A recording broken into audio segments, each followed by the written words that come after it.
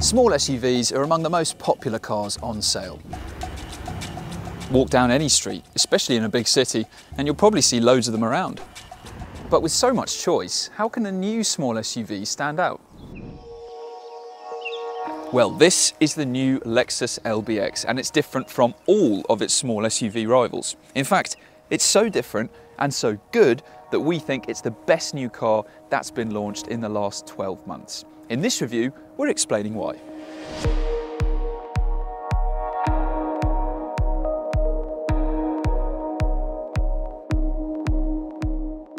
So the LBX is an all-new SUV and it's in a very big market with loads of other options like the Ford Puma, the Skoda Kamiq, the Audi Q2, the VW T-Roc. But the reason this stands out compared to all of its rivals is the fact that it's the only small SUV with a premium badge and a hybrid setup. It has had a bit of a head start in life though because underneath the LBX shares quite a lot of its parts with the Toyota Yaris Cross because Toyota owns Lexus. But the fact that those two cars have some similarities is no bad thing. Because the Yaris Cross offers incredible efficiency, it's decent to drive, it's a very good small SUV. So what's the Lexus spin on those ingredients? Well, it's resulted in something that looks very different. You can see outside it bears no resemblance at all to the Yaris Cross.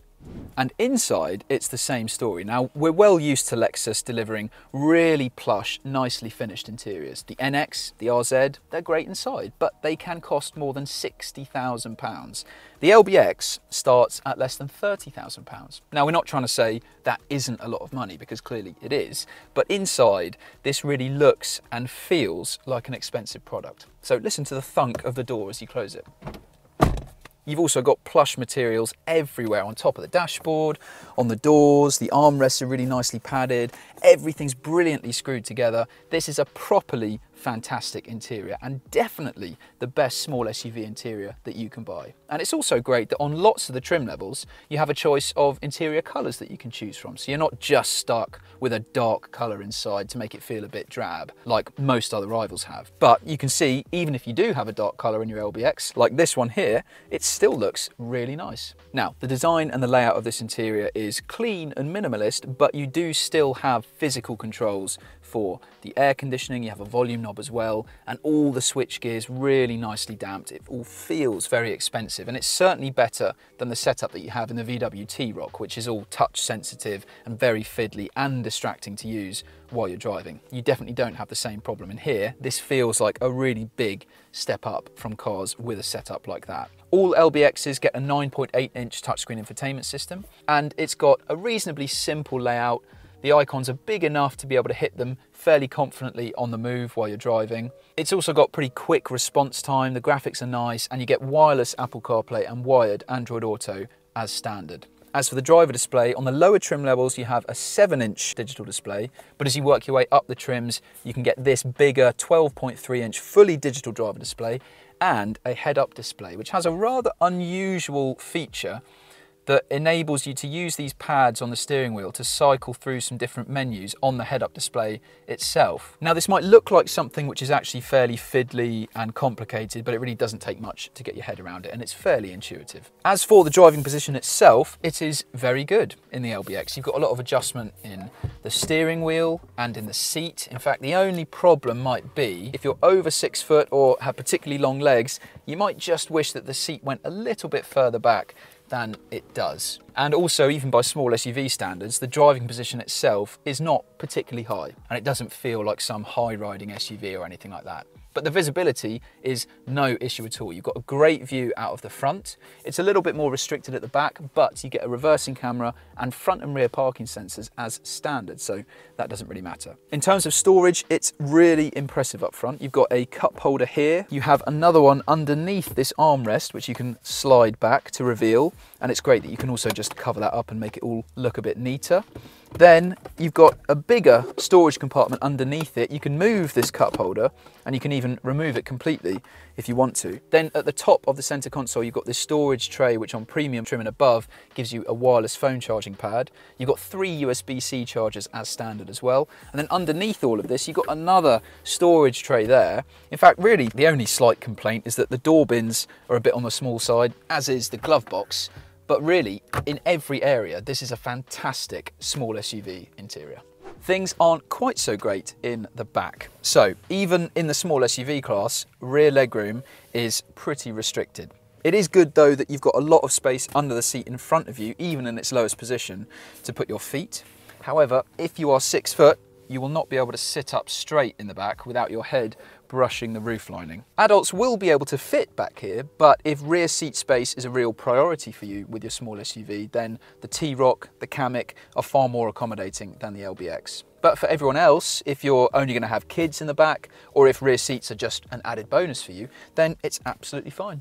The boot space on offer in the LBX depends on which version you go for. So if you have a front wheel drive LBX, you get 402 litres of storage back here. But if you go for a four wheel drive version, then the boot shrinks by quite a lot, down to 317 litres. So for some context, an Audi Q2 offers 405 litres in its boot, a Kamiq 400 litres, a VW T-Roc 445 litres. So this is a front wheel drive version of the LBX and you can see the space that you do get is a simple shape. You've got these two cubbies either side at the boot entrance, but there's nothing really clever to point out in the boot of the LBX. You don't get a height adjustable boot floor. So you can see you're left with this pretty big loading lip here. There's no underfloor storage. You can fold down the rear seats, but if you do, they don't lie flat, so there's quite a big step up from the boot floor. And another disappointing thing is that the Yaris Cross, a very similar SUV to this, can split fold its rear seats 40, 20, 40. So the three rear seats can go down individually in some versions of that car. But with the LBX, you can only split fold them 60, 40 in these two chunks that you see here. So the LBX might not be the most practical small SUV around, but it still has a fantastic interior up front. And it's very impressive under the bonnet as well. So no matter which version of the car you go for, you will get the same hybrid setup. And it's similar to what you get in the Yaris Cross, but there are some differences. Both cars get a 1.5 litre three cylinder petrol engine plus a small electric motor. But Lexus has tweaked the engine and the hybrid setup to improve performance, refinement, and efficiency in the LBX compared to the Yaris Cross. So, while the Yaris Cross takes 10.7 seconds to do 0 to 62 miles an hour, the LBX will do the same sprint in 9.2 seconds which is a lot quicker and it really is noticeable on the road. Granted, the LBX isn't the quickest small SUV around, but it's certainly quick enough. And Lexus has also just revealed a performance focused concept of the LBX with a 300 brake horsepower version of the engine that you find in the GR Yaris. It hasn't said whether it will actually make production though. What we do know is you can buy an LBX now with either front wheel drive or four wheel drive. And if you go for a four-wheel drive variant, then that gives you an extra motor on the rear axle, which should, in theory, improve traction in slippery or wet conditions. And that is something that's very rare in the small SUV class, to be honest. Those four-wheel drive versions of the car are a bit slower from 0 to 62 miles an hour, officially taking 9.6 seconds to do that. And you can only have the four-wheel drive version of the LBX in the more expensive trim levels.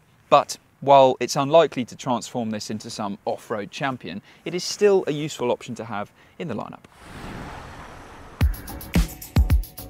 Now, you probably aren't buying an LBX for its incredible straight line pace, and you're probably not going to take it green laning either. More likely, if you're looking at an LBX, you're probably going to be doing a lot of your driving around town. And the good news is, this is an environment where the LBX really excels. And a lot of that is down to its fantastic hybrid setup. The reason it's so good is because in terms of refinement at these low speeds, it is well ahead of its closest competitors. It's very quiet in here because it can travel on pure electric power for short distances at least. So it's very, very quiet. And when the engine does kick in to help out the electric motor, you hardly notice that happen at all. The other huge benefit of this hybrid setup is the fuel economy that it offers. So officially, the LBX can manage up to 62.7 miles per gallon. And we know from the Yaris Cross, which has a very similar hybrid setup to this, that car can achieve incredible real world fuel economy, particularly around town. And this is just a nice thing to drive because it's got well weighted steering, so it's very easy to maneuver and get it into tight parking spots. The brakes are progressive and very easy to bring the car to a smooth stop. And it also has a CVT automatic gearbox, which at these low speeds, you hardly notice at all which is probably the biggest compliment you can pay to an automatic gearbox. However, as with all CVTs, the problem comes when you want to go a bit faster. if you want a quick burst of pace, or if you're joining a motorway and you're trying to get up to faster speeds, that is when it sends the revs soaring and they stay up there until you reach your desired speed. And that can be a little bit grating.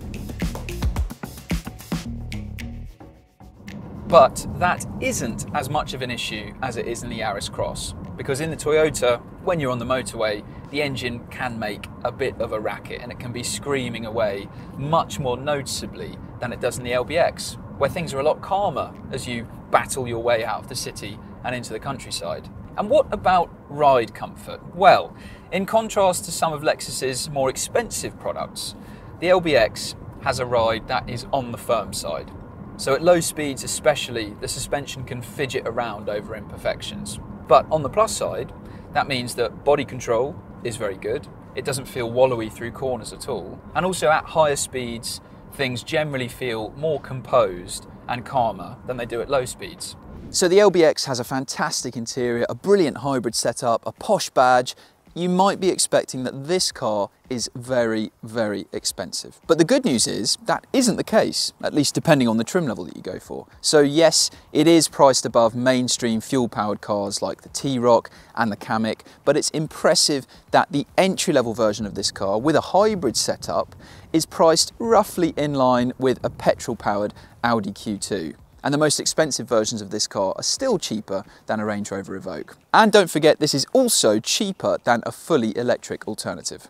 As you might expect from a Lexus, the LBX comes very well equipped and there's a wide range of trims to choose from. The entry-level trim is called Urban and includes 17-inch alloy wheels, automatic LED headlights, dual-zone climate control, wireless Apple CarPlay and Android Auto, all-round parking sensors and a rear-view camera.